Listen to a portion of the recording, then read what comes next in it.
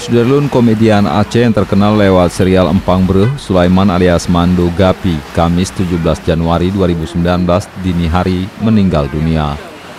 Almarhum yang menderita sesak nafas dan darah tinggi itu menghembuskan napas terakhir sekitar pukul 01.30 waktu Indonesia Barat di Rumah Sakit Umum Cutmutia, Loksmawe. Pria kelahiran Biren 1970 silam itu meninggalkan seorang istri yakni Ernawati dan telah hidup bersama sejak 11 tahun terakhir. Jenazah dimakamkan di pemakaman umum Desa Menasah Tengoh Meraksa, Kecamatan Blangmangat, Loksmawe. Dari Loksmawe, Zaki Mubarak, Serambion TV.